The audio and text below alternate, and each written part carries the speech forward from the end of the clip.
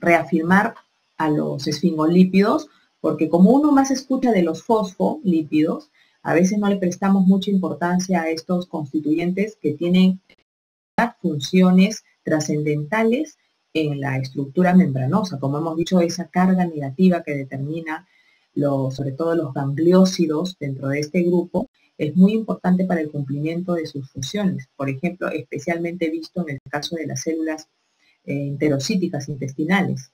Ahí se ha visto que mucho de, su transporte a través de la membrana está favorecido justamente por esa carga predominante negativa que podemos encontrar en estos componentes de la membrana. A ver, ¿qué más me dicen por acá? Me han hablado de los fosfolípidos, proteínas y carbohidratos, ¿no? Esfingolípidos, muy bien, me puso Araujo, Coaguila, a ver. Araujo, Araujo, ¿dónde está Araujo? Muy bien. ¿Qué más me han puesto por aquí? Ya lípidos, glucolípidos, Chambilla Venegas, muy bien, Chambilla Venegas. Glucolípidos, ¿no? Eh, glucolípidos o glicoproteínas, ¿cierto? Esos que formaban el glicocáliz. Fosfolicerios, me pone Araujo, ya está, Araujo. Colesterol, muy bien, no se olviden de Miren ese doble papel que hemos estado señalando del colesterol en la membrana, ¿no es cierto? El colesterol junto con los fosfolípidos y los esfingolípidos, porque tienen una estructura muy parecida, como dijimos, a los, a los fosfolípidos, solo que su alcohol es la esfingosina, acuérdense, eh, y su cabecita polar tienen glúcidos, o también pueden tener fosfato, como en el caso de los fosfoesfingolípidos. Acuérdense que los esfingolípidos se dividen en dos. Fosfoesfingolípidos donde justamente está el, la el, esfingolipio que tiene fosfato en su cabecita y que por lo tanto se parece mucho a la fosfatidilcolina y que forma justamente la mielina de las neurónicas. Y por otro lado están los glucoesfingolípidos, donde estaban los gangliósidos y los cerebrósidos. Entonces tenemos dos grupos, ¿no es cierto? Muy bien.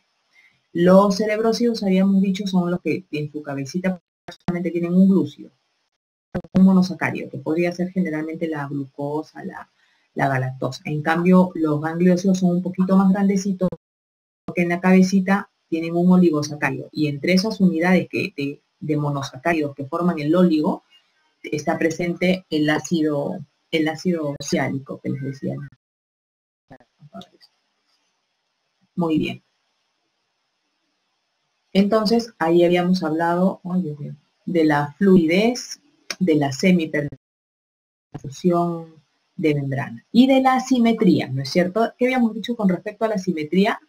A ver, ¿qué componentes le daban ese carácter asimétrico a la membrana? Eso está facilita también. ¿Qué componentes le daban ese carácter asimétrico a la membrana? Destacamos a los dos. A ver, ¿quién me contesta? Fíjense que acá se está activando todo. Voy a bajarle el volumen. Ya está, ahora sí. ¿No se acuerdan? Las proteínas periféricas que no están en la misma ubicación. Ah, muy bien, ya me están contestando por ahí. Las proteínas intrínsecas y extrínsecas. Muy bien. Y las extrínsecas son las que participan, porque como no están en las dos lámelas en la misma ubicación, entonces son las que participan en la asimetría, la desigualdad que hay entre las dos capas, ¿no? ¿Qué otro componente participaba en la desigualdad? Los glúcidos, el glicocálix, porque los glúcidos solamente están anclados a la capa externa, ¿no es cierto? Muy bien. A ver, otra preguntita. Con respecto a las uniones celulares. Las agrupamos en dos. Las que tenían estructura compleja, y por eso se llamaban uniones complejas, ¿no es cierto? Y teníamos por otro lado las uniones no especializadas, que eran una sola proteína, ya no eran la suma de varias como si eran las complejas. Las CAMS solamente eran una sola proteína, que podían ser que podían ser eh, diméricas o heterodiméricas, ¿no es cierto? Y dentro de cada uno de estos grupos encontrábamos variantes, ¿no? Teníamos, por ejemplo, dentro de las complejas, ¿quiénes estaban dentro de las complejas? A ver, ¿quién me va a contestar? Muy bien, Chara, me dice los desmosomas, me dice Chara. A ver, despierto. Y habían tres tipos, también es bueno precisar, ¿no? Los desmosomas puntuales, los semidesmosomas que se parecían mucho y los desmosomas en banda, que eso sí tenían una estructura diferente. Muy bien, porque eran de actina, era un cinturón interno, ¿no? Como una correa interna que podíamos encontrar. Muy bien, Chara, en banda. Chambilla me dice, otra de las complejas son las uniones en hendidura. Claro que sí, claro que sí, porque ustedes recuerden que las que eran en hendidura tenían canales, ¿no es cierto? Canales que se tenían que empalmar y cada canal estaba compuesta de gránulos proteicos, ¿no es cierto? Que se llamaban conexinas. Muy bien. Uniones septadas, uniones estrechas u oclusivas. Beltrán, muy bien. Vamos a ponerles a los que están despiertos su check de participación.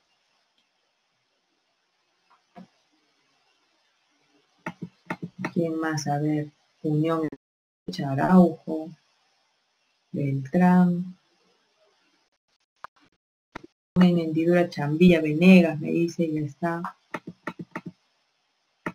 Sí, Beltrán Chara. Muy bien. Ahí están todas entonces las uniones que eran complejas, ¿no? Y si decíamos las funciones, no olvidarnos, no olvidarnos que decíamos. si yo les preguntara en el examen, ¿cuáles son las uniones? Cuando digo eso, ahí se apuntan, ¿no? Seguro están ahí apuntando. Este, ¿Cuáles son las uniones que sellan epitelios? ¿Cuál me contestarían? Mira, Dios mío, este, este, no sé por qué se me agranda en la imagen.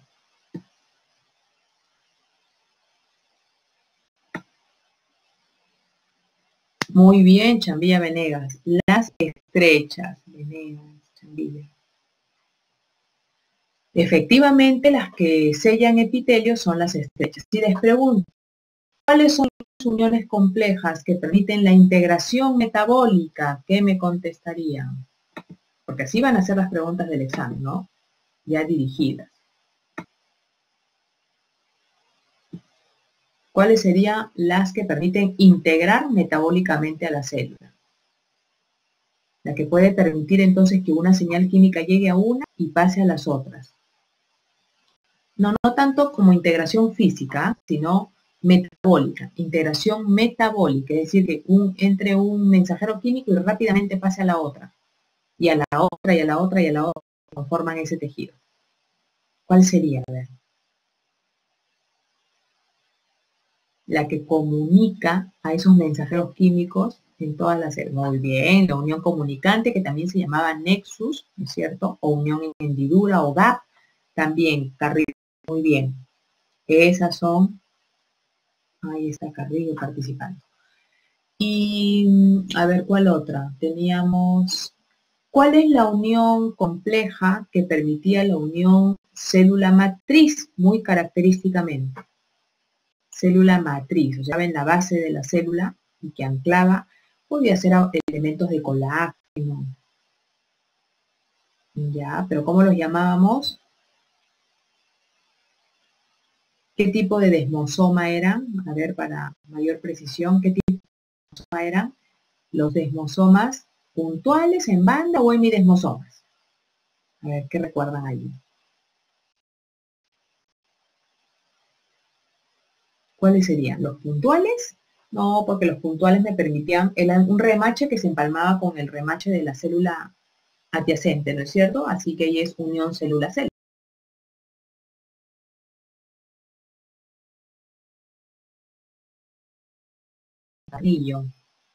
Ahora sí.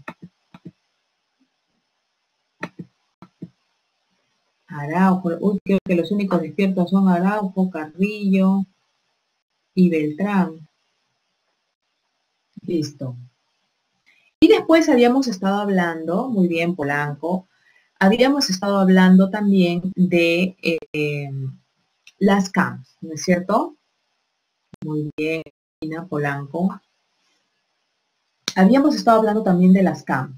En el caso de las CAMs, Todas ellas están reconocidas como receptores, como uniones celulares, como les dije, de estructura sencilla.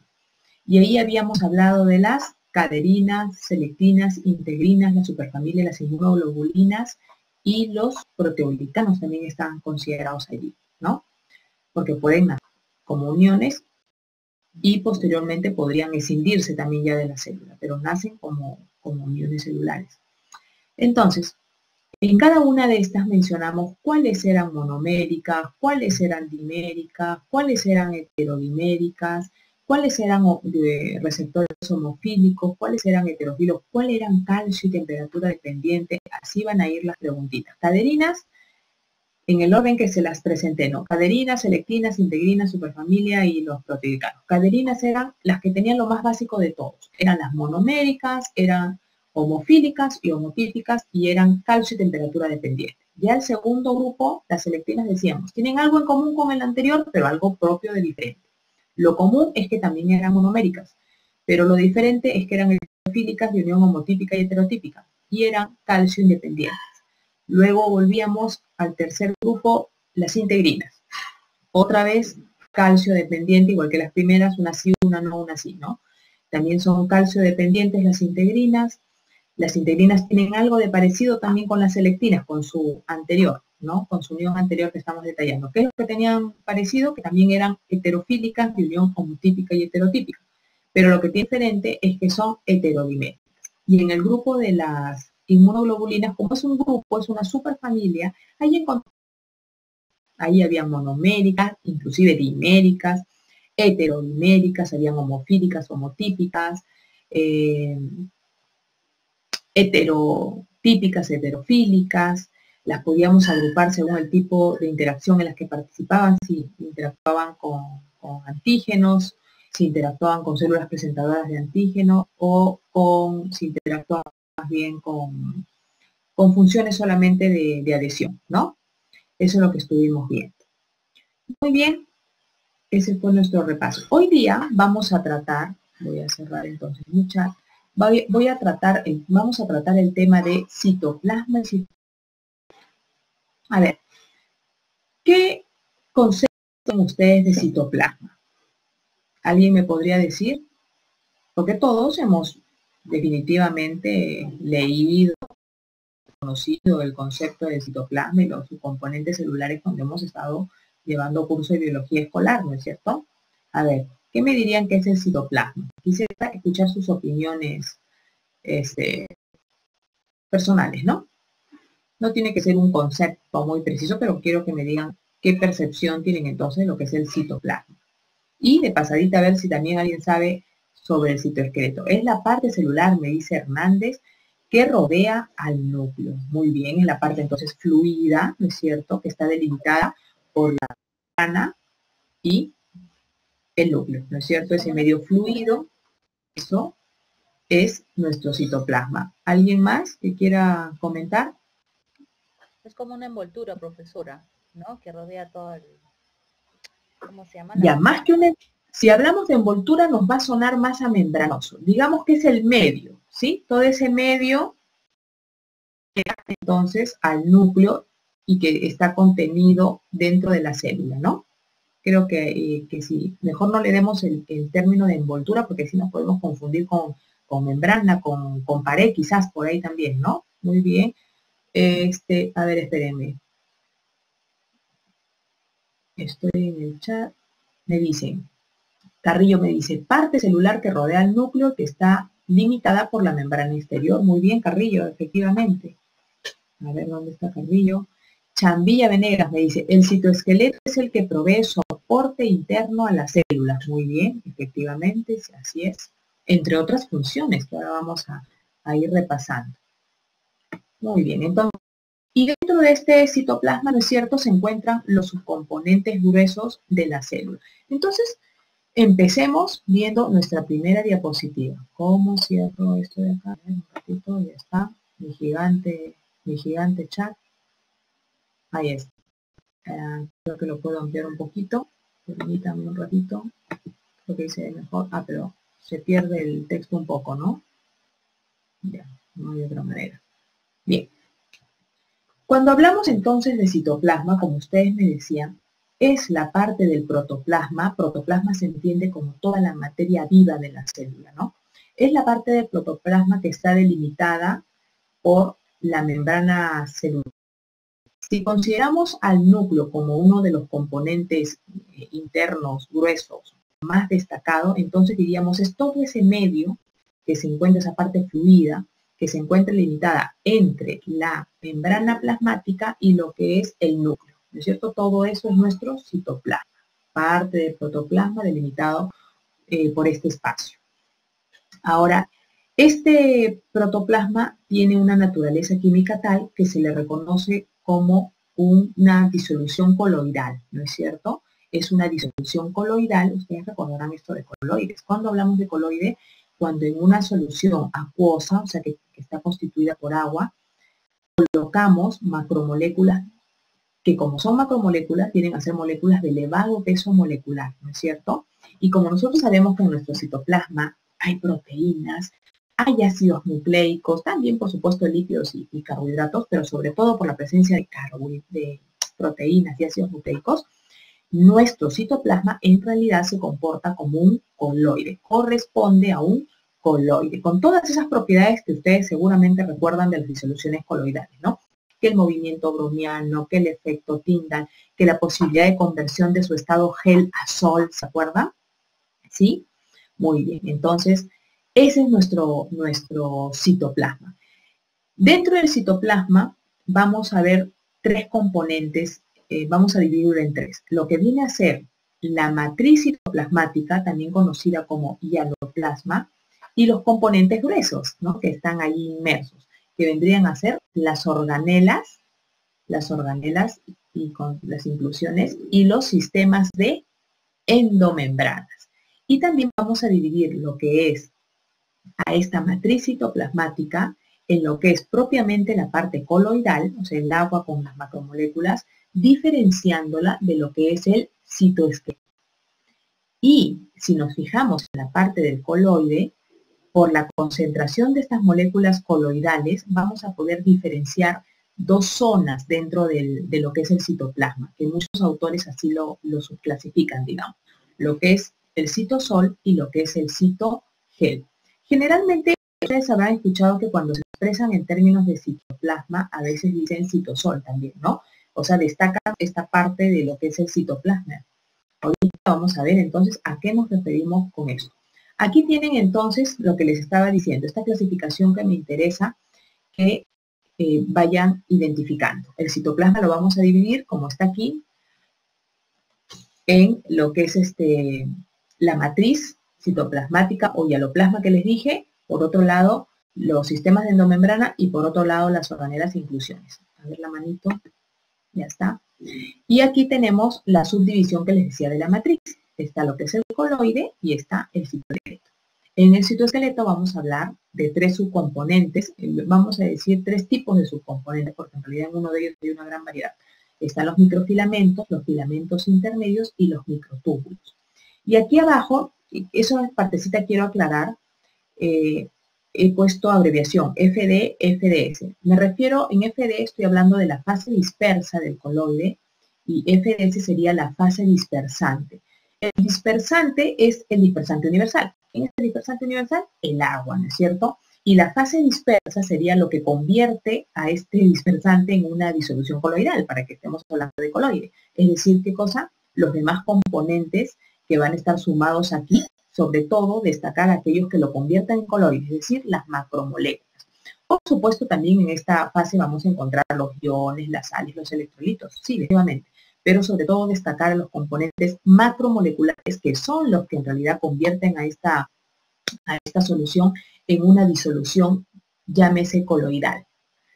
Esto para diferenciar de lo que son las soluciones verdaderas de lo que son las suspensiones. Miren, ¿ah? la disolución coloidal sería un punto medio. Cuando hablamos de una solución verdadera, hablamos de que está constituido este medio acuoso por eh, componentes tan pequeñitos que cuando yo lo muevo, lo muevo, lo muevo, se disuelven, ¿no es cierto? Entonces no voy a, no voy a obtener que pasado un tiempo caigan componentes al fondo, no, porque todos los componentes son tan pequeños que se disuelven, se separan entre las moléculas del agua. Lo contrario, me voy al polo opuesto. Cuando hablamos de suspensiones, cuando en agua colocamos componentes que son de tan gran tamaño, digamos, partículas, que por más que yo mueva, mueva, mueva, si dejo reposar un rato la solución, van a notar que los componentes pesados, estos que, lo estaban constituyendo, se van al fondo, es cierto? Y se forma lo que conocemos como sedimento, porque como son grandes, no van a llegar a disolverse, van a terminar cayendo al fondo.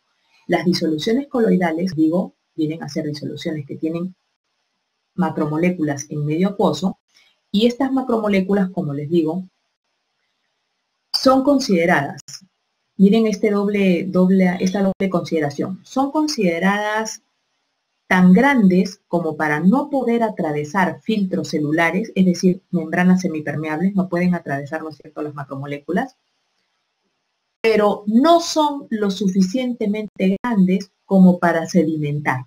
O sea, no sedimentan las proteínas, ¿sí? No sedimentan. Nosotros con ustedes eh, ya hemos hecho la práctica de sangre, todavía no, con odonto me parece. A ver, déjenme ver. No, con usted no hemos hecho sangre, ¿no? Sí, sí, sí. Con ustedes ya hemos hecho la práctica de, de sangre y hemos hecho también la de transporte a través de la membrana. Muy bien, entonces hicimos, observaron, ¿se acuerdan? En esta última actividad les puse la observación de tubitos donde habían sido colocados unas cuantas gotas de sangre, eritrocitos, en medio hipotónico, hipertónico, isotónico, ¿se acuerdan? Muy bien. Eh, cuando nosotros colocábamos a, las células en un medio hipotónico, los eritrocitos, estos se rompían a los 10 minutos aproximadamente, ¿no? Y decíamos, ya la veíamos el tubo translúcido porque ya no hay células enteras que le daban la turbidez, sino que se han roto, han estallado y hay membranitas pequeñas nada más, no restos. Pero seguía rojo, ¿no es cierto? Igual que los demás los otros dos. Si nosotros esos tubos los llevamos a la centrífuga, en el caso de, los dos tubos donde hay células completas, normales en uno y deformadas en otro, pero completas, las células como componentes de gran peso molecular por la centrifugación, igual como la centrífuga de nuestras lavadoras, ¿no es cierto?, llevan los componentes pesados al fondo. Entonces, claro, las células se iban al fondo y ustedes luego de centrifugar esos tubos, ¿qué iban a obtener?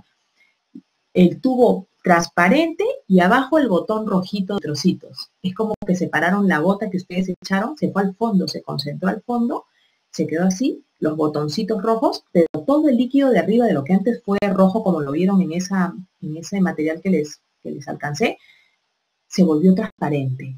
Claro, porque solamente queda el medio acuoso y todos los componentes pesados, ahí las células con su hemoglobina que va dentro se fueron al fondo y por eso el rojo se fue a ese botón, ¿no?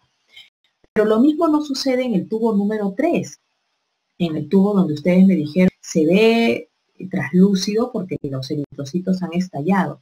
Allí, después de la centrifugación, el tubo sigue siendo rojo. ¿Por qué? ¿Por qué los otros dos sí desapareció lo rojo y en el caso del 3 no? Porque como les digo, al haberse roto los eritrocitos, la hemoglobina, que es la proteína en sí, ¿no es cierto?, que va dentro de los eritrocitos, está libre.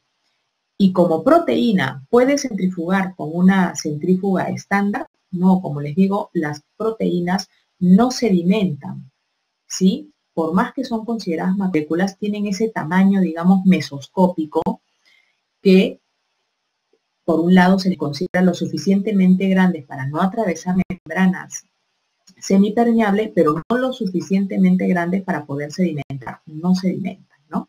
Entonces, ojo, esa práctica mí me gustaba mucho porque justamente ahí evidenciábamos esta característica de las disoluciones coloidales que el citoplasma de nuestros, de nuestros eritrocitos no lo. Bien, eh, sigamos, a ver, vamos con la siguiente.